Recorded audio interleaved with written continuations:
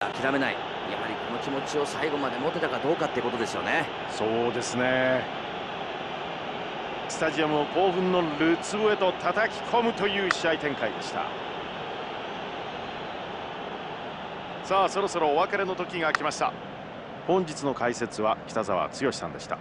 北澤さんありがとうございました。どうもありがとうございました。